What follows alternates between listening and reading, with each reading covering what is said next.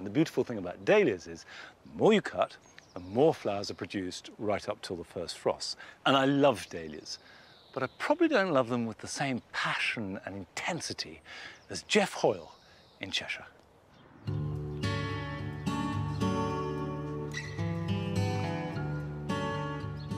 Whatever position you want to put it, there is a dahlia that will fit.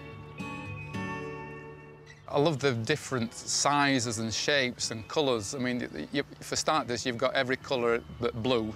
Then you've got big ones and you've got the miniature pompon dahlia, so you've got a wide variety of sizes.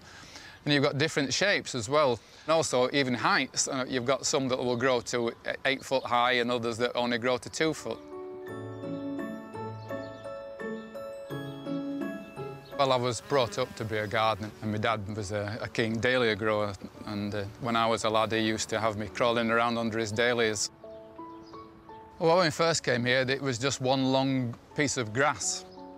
So I got into flowers, and as time's gone by, I've realised that dahlias give me more colour and more interest than any other plant, and so I've thrown out all the shrubs and everything else. The lawns have got smaller. Really, it's taken over my life, I suppose. Well, I plan everything by height. I go around each autumn, measure how high each dahlia has grown and keep records. And then when I put my stakes in the following spring, I try to allocate a tall dahlia to a tall stake and a short dahlia to a short stake so that it uh, gets a tiered effect. There's a dahlia there called Rycroft Delight, which always grows to about eight or nine feet. And so I know I can rely on that dahlia to grow that high the following year. I tried doing a colour scheme one year where I had a red bed, an orange bed, a yellow bed, and it, it didn't look right at all. So now I just go on height. The colours look after themselves. I tend to go for brighter colours and just have the odd white or cream one here as a contrast. I love this dahlia. It's a miniature decorative called Blyton Lady in Red. I like it because of the strong colour, the fact that it's got very strong stems that makes sure it stands above the foliage. And I also like the lovely form of it. This one is a dark leaf variety called Happy Wink. It only grows about two foot tall, has loads of flowers, beautiful colour. The bees love it.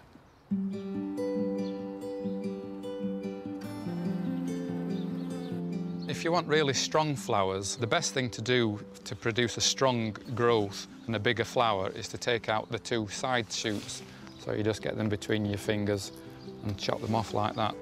For the novice, it might be better to try a miniature variety because they, they tend to have uh, smaller flowers, stronger stems, and you'll see, for example, with Western Spanish Dancer here, I'm going to let three flowers grow under one stem and it, and it will be strong enough to support it. So I'll leave it to its own devices.